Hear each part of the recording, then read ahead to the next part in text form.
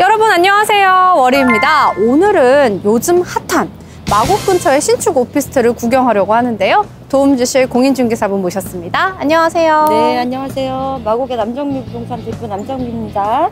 대표님 요즘 이 마곡이 핫하다 핫하다 하는데 왜 핫한가요? 마곡은 서울의 마지막 산업단지로 형성되어 있는데요.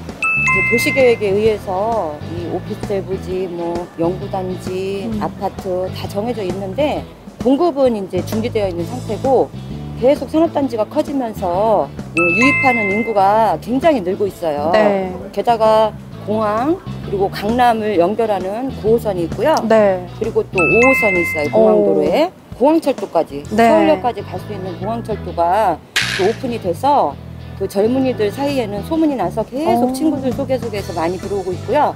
그 다음에 이제 한강 쭉 따라가다 보면은 88 올림픽대로가 있고 네. 그 다음에 저 5호선 옆쪽으로 또 공항대로가 있어요. 교통은 아주 서울 시내에서 뒤떨어지지 않는 최고의 오. 조건을 가지고 있습니다. 아, 우리 대표님이 설명 너무 잘해주셔가지고 제가 너무너무 기대가 되는데요. 저희가 가볼 오피스텔에 장점이 있다면 어떤 게 있을까요? 음, 가격은 2억대로 주변하고 비슷한데요. 일단은 자연 환경이 너무 좋아요, 주변이. 어. 한강도 보이고, 그리고 그 공원이, 식물 공원이 쭉 연결되어 있는데, 네.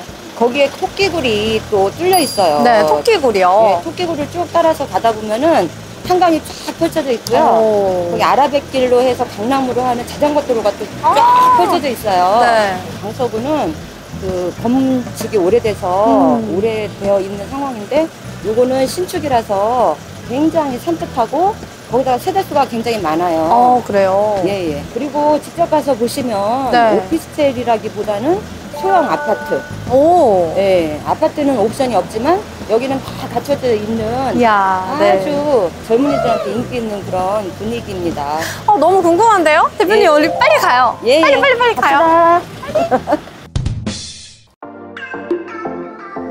네, 그러면 들어가 볼까요? 와. 오, 하얘요, 완전. 네. 역시 신축은 이런 깔끔한 맛에 들어오는 것 같아요. 들어오자마자 전자레인지가 있어요, 이렇게. 빌트인인 거죠? 옵션이죠?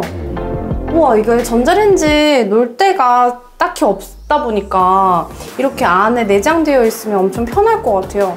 오, 그리고 생각보다 싱크대가 넓게 빠져 있어서 이런 거 되게 좋은 것 같아요. 그리고 식기 건조대 같은 것도 놓으려면 사실 어디 마땅히 놓을 데 없잖아요. 지금 이런 데 놓기도 애매하고. 근데 이런 식으로 위에 내장되어 있으니까 이런 거 되게 편할 것 같고. 확실히 그 오피스텔은 이렇게 수납이 잘 되어 있는 것 같아요.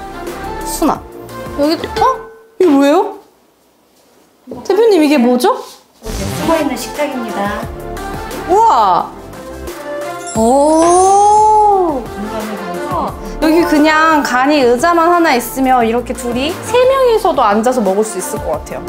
어, 좋은데요? 이렇게 공간을 활용할 수 있는 건 정말 큰 장점인 것 같아요. 딱히 식탁 안 사도 될 것 같아요. 네. 어머, 헐. 이게 뭐죠? 그 광고에만 보던 스타일러인가요? 아니, 요즘에 오피스텔에 스타일러가 대세라고는 듣긴 많이 들었는데, 진짜 이렇게 있을 줄 몰랐는데? 어떻게 열어요? 아, 이렇게? 우와, 이거 스타일러 내가 구입하려고 해도 장난 아니잖아요. 네, 옵션으로 들어가 있어요. 이거는 미리 입주하신 거죠? 네, 미리 갖다 놓은 거죠? 네, 옵션이에요, 옵션. 양문형. 이, 이게요? 양문형이? 예. 제가 여태 여태 살다 살다가 오피스텔의 양문형은 지금 처음 봤거든요. 이 우리 이사 가려고 하면은 사실 솔직히 짐 하나 얼마 없는데 이사 가는 거 되게 애매하잖아요. 이삿짐 부르기도 애매하고. 근데 이런 식으로 옵션이 다 들어와 있으면 이런 게 사실 짐이잖아요. 거의 뭐 이사도 그냥 몸만 왔다가 몸만 나가도 될 것 같아. 그리고 신혼부부들 많이 산다고 했잖아요. 네, 신혼부부들 예, 초기에 굳이 내가 많이 안 사고 조금 많이 돈 아껴가지고 해도 될 것 같아요. 어, 이건 뭐지? 우와! 이거 뭐예요? 화장실 안에 방이 하나 있는데? 네, 여기는 네. 세탁실이 별도로 있어요. 저거 세탁기예요? 네. 되게 신의 한 수가 있어요. 저기 창이 있다라는 게 엄청난 큰 신의 한 수인 것 같아요. 샤워할 때는 이렇게 샤워할 때는 창 이렇게 닫으면 되고 끝나면 또 열어가지고 환기시켜 놓고 진짜 좋다. 그리고 딱 여기 옆에도 충분히 공간이 있어서 뭐 세탁 용품이라든지 이런 것도 많이 넣어놓을 수 있을 것 같아요. 자, 그렇다면 이제는 방이 남았겠죠? 방을 한번 볼까요? 오, 여기 안방인가 봐요. 우와, 방에 에어컨이 있어요. 에어컨. 그리고 오, 창이 생각보다 커요.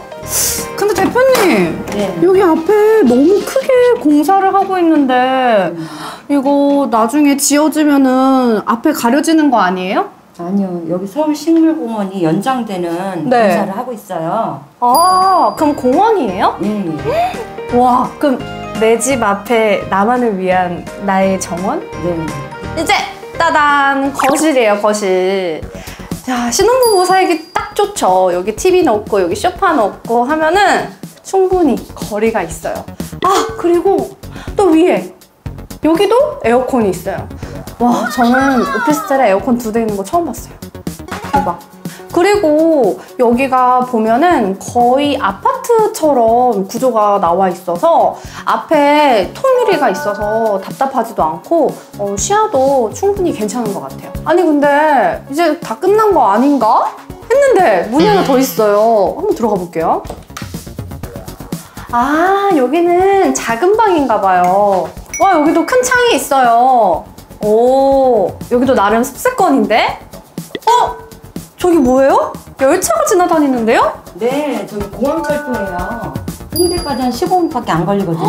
우와 저기 저기 보이는 거는 그건 한강, 한강. 한강이에요? 네. 아, 여기 나름 한강도 있어요. 한강도 있고.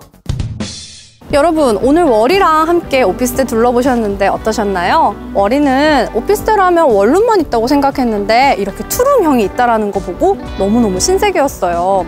게다가 마곡지구는 큰 기업들이 속속속 들어오면서 유동인구가 증가하는 추세인데요.